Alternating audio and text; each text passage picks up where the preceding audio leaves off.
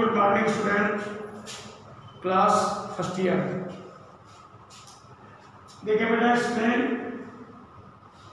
आपके विनय वात्सल दो चैप्टर समाप्त हो गए हैं। तीसरा चैप्टर भ्रमर गीत। इसमें कई पैरा दिए हैं। संभवतः ये छः सात दिन तक चलेंगे। एक एक पैरा में लिख रहा हूँ? कोई बड़ा होता है पैरा कोई छोटा होता है।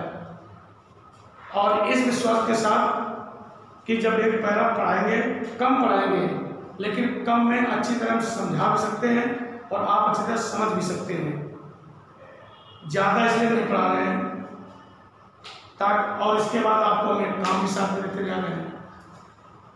तो वो भी आप करते रहिए। कोर्स और इसको लिखना नहीं है, इसको केवल समझना है, पढ़ना है। क्योंकि हमने बताया था आपको कि व्याख्या आना बंद हो गई है। अब लेकिन हम पढ़ा इसलिए हैं लेसन है, लेसन की आपको ज्ञान हो जाए, अनुभव हो जाए, कि कोई प्रश्न आ जाए तो आप लिख सकते हैं उत्तर में। अब देखिए बेटा, इसको ध्यान से। बिनु गोपाल बैरी भय कुंजय।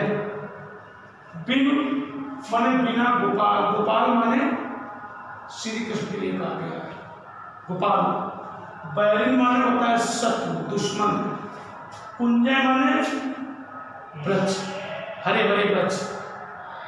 तो तब वह लता नगर एकदम शीतल, अब भई विषम ज्वाल की कुंजय विषम माने होता है भयंकर, ज्वाल की कुंजय माने होता है आग, ज्वाल माने आग कुंजय माने चिंगारी। आग के चिंगारी। शीतल माने ठंडा लता माने डाली तो बेटा कौन कह रहा है ये गोपिकाएँ कह रही हैं। गोपिकाएँ कह रही हैं ये भगवान कृष्ण से उनका इतना प्रेम था, अटूट प्रेम था, हृदय से पवित्र प्रेम था।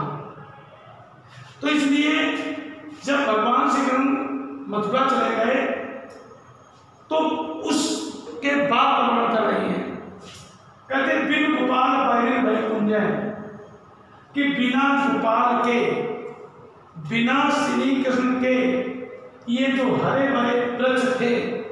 लताओं से युक्त, पत्तों से युक्त, फूलों से युक्त सुंदर वृक्ष, ये मेरे लिए शत्रु के समान लग रहे हैं। यानी भगवान कृष्ण की अनुपस्थिति में, पहले जब भगवान कृष्ण रहते थे मेरे साथ थे तो ये सब मुझे बड़े सुंदर थे सुखदाई थे।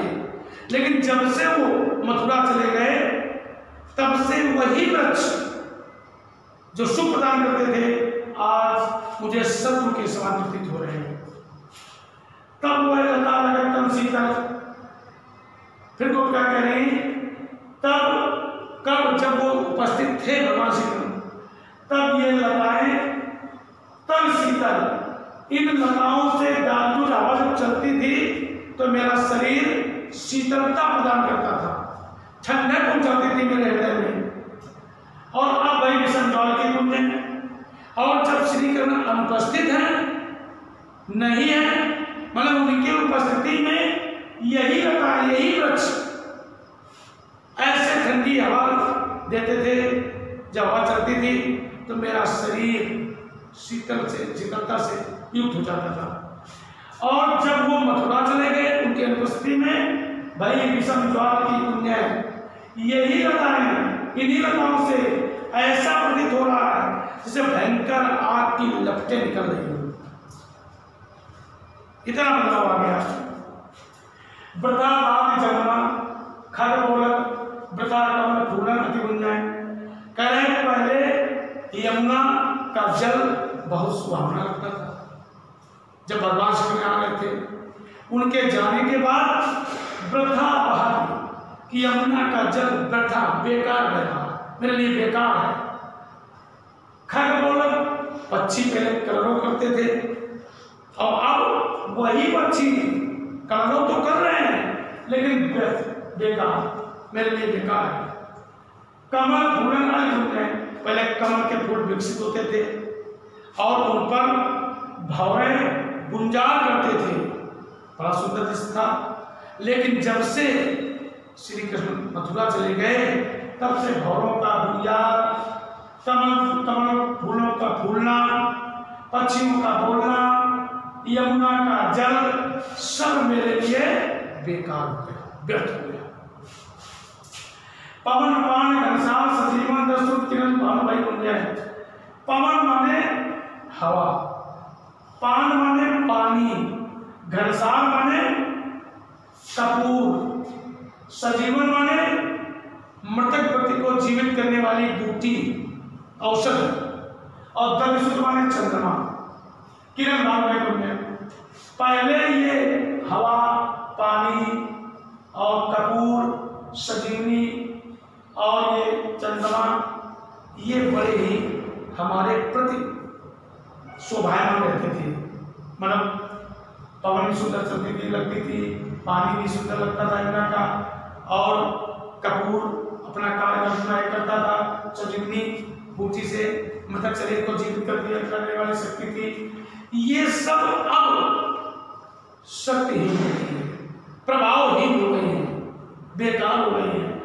और जब चंद्रमा की शीतल किरणें ठंडक पहुंचाता था, पहले लेकिन अब किरण भान भय गुंजय ये चंद्रमा की किरणें भान वाले सूर्य गुंजय वाले गर्भ।